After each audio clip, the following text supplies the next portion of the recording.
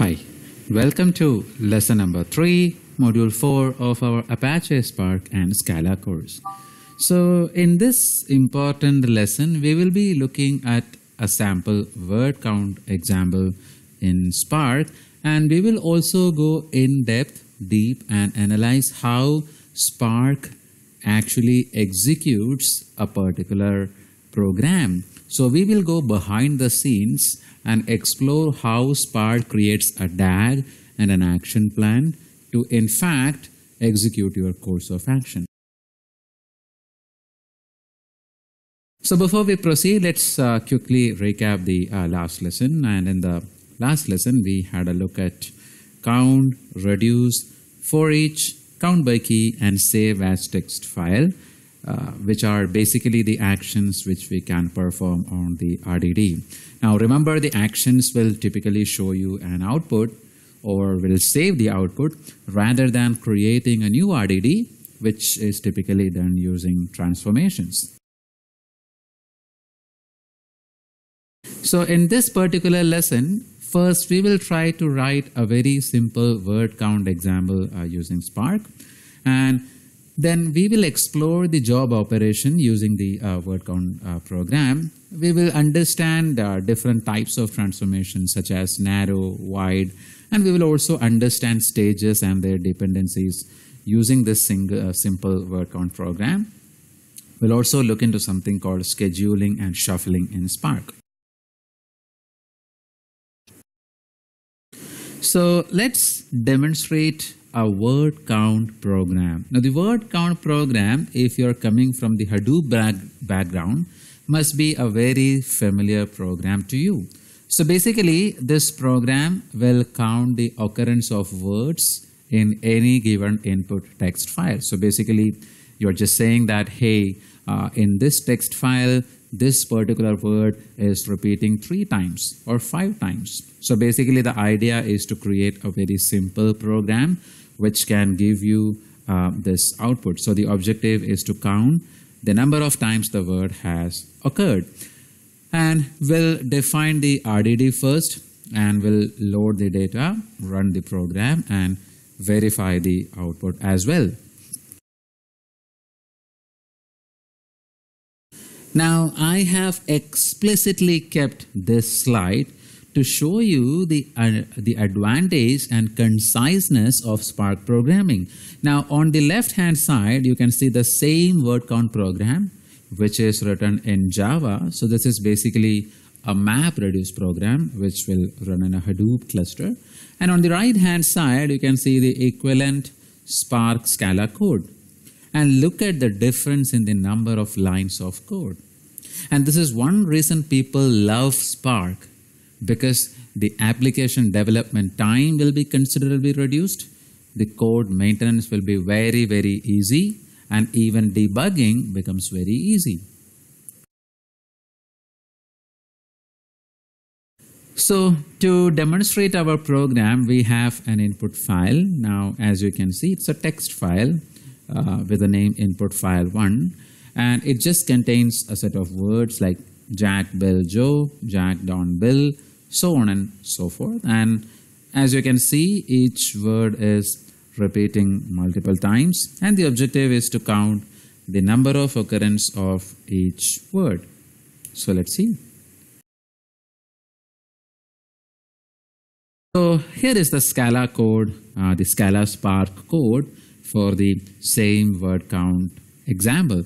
Now, if you look at the code, it is almost self-explanatory, but we will have a look at each and every piece of code and understand what it does. So the first line of code is basically how you read your input file. So here I'm uh, creating a variable, an RDD called text file. So I'm doing a val text file, that's my RDD. Then I'm saying sc.text file and using the text file method, I'm reading the input.txt from my local file system. Now, once you have the data, which is the text file, I'm creating another RDD called counts. So you can see that I'm typing val counts and on the text file RDD, I'm first applying a flat map transformation. So what do I do in flat map? Basically, I'll write line and then rocket symbol, line dot split space. So basically, I want to split each line with space. And then I'm again applying a map transformation wherein I will say word and then word comma 1. So every word I'm converting into a key value pair where the same word will be the key and the one will be the value. And then I'm doing a dot reduce by key. Now reduce by key is a very interesting um, action. So what it actually does is that it will keep your key and apply whatever transformation that you want to do on all the values belonging to the key. So in here, I'm typing reduce by key underscore plus underscore. So this, this practically says uh, x comma y, x plus y. That means each, each uh, value I want to add together. So for the same key, it is going to apply the add action. So it's going to sum up all the values. And at last, I will uh, save the output file using the save as text file action. So I'm applying this on the counts RDD. You can see that counts dot uh, save as text file and then there is a location. So basically this is the very simple program for, uh, you know, counting the number of words. So here you can see that I'm creating the text file RDD by reading the data using the text file method and the data is in my local file system uh, in my desktop. The file is input.txt. So go ahead and type the same command so that if you want, you can practice along with me. You can pause the recording for a moment and then just do it along with me. You can create this file called input.txt anywhere in your local machine and then just make sure that you're, you're typing the exact path and ready to this RDD called text file. So here is the big bunch of code which basically creates the RDD called counts. Uh, nothing to worry about. So basically uh, what we are doing here is a text file dot flat map. So first we will look at each line and then we're going to split it using uh, space. Um, so basically this is how you extract every line and we are applying the flat map transformation. Uh, and for each line again, then you are applying a map transformation where for every line you are going to have uh, a set of words. So you're going to say for each word, convert it into word comma one, right? So that you are creating key value pairs from existing words. And finally, you will say reduce by key. So the reduce by key operation is applied with a plus operator. So underscore plus underscore basically means for a given key, I want to sum all the values. So reduce by key uh, typically have, applies for each key individually. In our example, each key is a word. And if there is a repeating word, then you will have multiple uh, key value pairs with the same word as the key. So basically, uh, when I say reduce by key underscore plus underscore, it means, hey, read the word. And if you have multiple ones that are the values for the same word, just sum them, add them, right? And then I'm doing uh, calling uh, an action. You can see here count uh, dot save as text file. And then you can give a location and it's to save the output in there. So pretty simple uh, piece of code, uh, no uh, rocket science in there. And by this time, I'm assuming most of you will be able to understand the code. And to just get an idea about the um, final result, you can simply do output.collect method. So the collect action actually shows you uh, the final result, which is contained in the RDD called output. And as you can see, we have counted the individual words, Bill and Jack and Joe repeating four times and then Don repeating six times. So this can be taken as a very simple example for um, creating a, a Spark program which can count the number of words in any input file. So as of now, what we have seen in Spark is how you can load the file and then how you can apply a set of transformations and actions and then see the result. We were not really concerned about what is happening behind the scenes and also we were not really concerned about any sort of performance tuning uh, in Spark as well. So let's have a look at these concepts. So there are two major concepts. There is data dependencies and scheduling process. So let's jump to the next slide and let's take the same example to understand this. Now, what exactly are dependencies? Now, transformations create dependencies between RDDs and here we can see different type of them. So basically dependencies means the transformations and the resulting RDDs will be dependent on the parent RDDs. And you can in fact divide the transformations into two types. There is something called a narrow transformation and then there is something called a wide transformation. To give you an example, so let's take an example of a map or a filter. So let's say you are applying a map operation. So you can, you can look at the example which is displayed uh, in the slide and you can look at the particular box which says map comma filter. So let's imagine we are doing a map and as you can see the RDD, the original RDD which is in blue in color has four partitions. That means your data is in four partitions. Now, when I apply, uh, apply a map transformation, what is going to happen is that the map will be applied to each and every line parallelly. So that means there is no need for data movement here. The map function, the map transformation basically works on every partition the same way. And as you can see, the, it, the four tasks will be running parallelly and producing output. So the advantage of map or such type of transformations, which we call it as narrow transformations, is that they are a low cost operation. So why do you call them as low cost operation? Because there is no real data movement between the partitions in an RDD. Now each partition of the parent RDD is used by most one partition of the child RDD. So this type of transformation is called as a narrow transformation. So the examples are map, filter, union, so on and so forth. So this is applied locally on each partition. There is no shuffling required. So that means you can apply a map operation on one partition and create a result in an equivalent partition. So that means there is no shuffling happening here. On the other side, there is another type of transformation called wide transformation. So when you look at wide transformation, what is exactly happening here is that there is a lot of shuffle which is happening over the network. So let's look at the example which is group by key. So when you apply the transformation called group by key, what Spark actually does, it's going to look at a particular key and then it's going to bring all the values of that key together and then apply some common, uh, uh, you know, then later you can apply some common operations on that.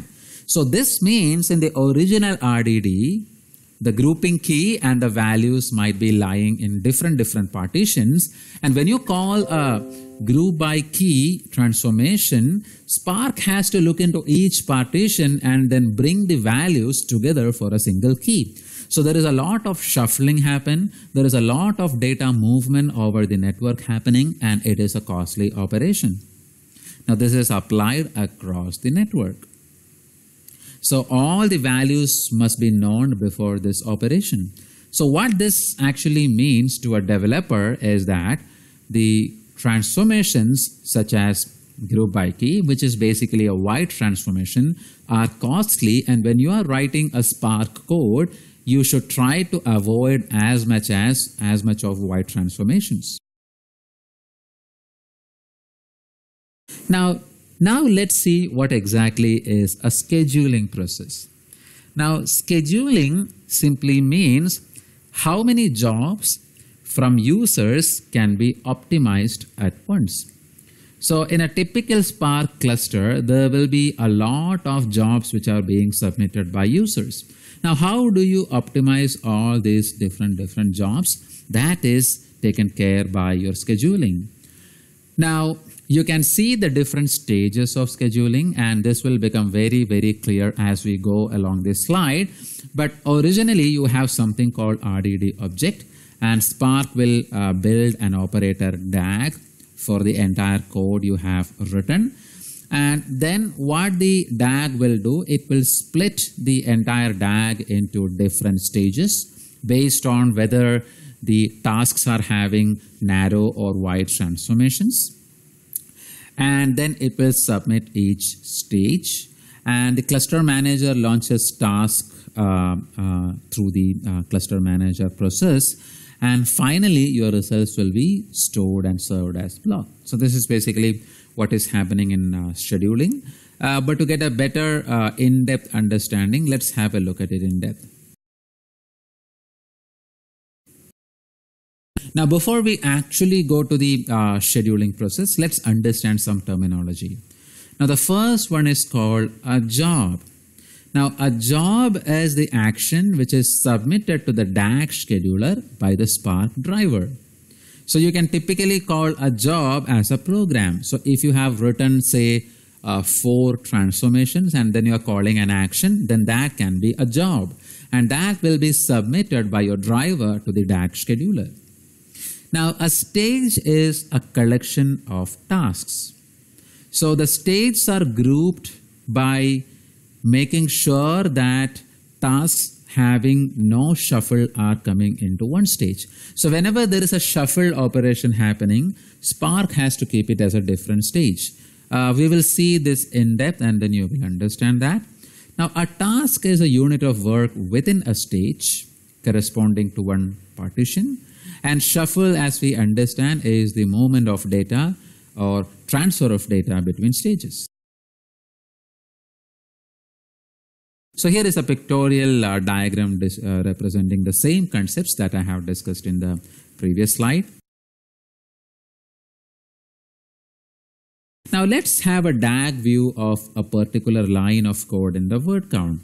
So if you look at the piece of code that we are analyzing, we have the sc.text file method, and then we have a flat map, map, and reduce by key operations. So what exactly happens? If you look at the chain of operations that are triggered by this, this is how a directed, directed acyclic graph view will look like. Now, in the first method, sc.text file, Spark will read your data and load it into three partitions. Now, this will make sure that your data is available in three partitions. And then you are applying a flat map operation. Now remember, the flat map operation is a narrow transformation, which means you can parallelly run this on all three partitions. So once the flat map is applied, uh, your uh, map RDD is created, which also has three partitions very similar to your original RDD. And after that, we have the map transformation, which is again a narrow transformation. And again, three parallel uh, transformations happens on three partitions, which produces the third stage. But the fourth transformation called reduce by key is a wide transformation. So when I have to apply reduce by key, I have to look at all the values across multiple partitions. And that is why you end up having two partitions in the result. So basically you have to shuffle through all the partitions and find out the values for each key. So here you can get a complete idea about something called a stage. So what Spark actually does is that it will group the narrow transformations into one stage. So here you can see that the sc.text file, flat map and map are executed in one stage because they are all narrow transformations. And after that, the reduce by key is a wide transformation. So that is executed in a different stage. So we can say that in this particular job, there are two stages, stage one and stage two. Stage 1 contains three transformations. Obviously, they are narrow. And stage 2 contains a single wide transformation. So the DAG scheduler will convert narrow and wide transformations into separate stages. And you can see the, them from the uh, example that I have given. And the shuffling is performed accordingly. Now let's have a look at the shuffling process as well. So here you can see the uh, original RDD before the shuffling happening and then you can see that after the shuffling stage there are only two partitions, right? So there is something called shuffle write and then shuffle read. So in the shuffle write, basically uh, what is happening is that it redistribute data among partition and write files to disk. Each hash shuffle task creates one file per reduce task and it's all shuffle used in memory sorting. And the shuffle read will fetch the files and applies the reduce logic. And if data ordering is needed, then it is sorted on the reducer logic. So here you can see that uh, uh, in the original RDD, which is having three partitions, each stage one task will read the Hadoop input and it will perform map and filters and write partial sums. Whereas in the shuffle, it will read partial sums and invoke the user function pass to run the job. So let's have a look at the summary of RDD job execution. So the first layer is the REPL. So the REPL is basically uh, interpreting and compiling your code. So once you execute your code, it will create the RDD and then Spark will create an operator graph. When program runs, the graph is submitted to the DAG scheduler. The DAG scheduler pipelines operators together to optimize the graph. The final result of DAG is a set of stages. The stages are passed on to task scheduler and the task scheduler launches tasks via cluster manager. The worker will execute the task. A new JVM is started per job. So in a nutshell, we can see that on the outer layer, we have something called a job and the job is then converted into a DAG. A DAG will have multiple stages and each stage will have tasks which are nothing but transformations. So to wrap up in this particular lesson, we have explored the Spark job, job operation using the word count program. We understood the transformation dependencies and understood more about scheduling and shuffling. That's all for this lesson. If you have any questions, please do not hesitate to raise a support ticket. Thank you.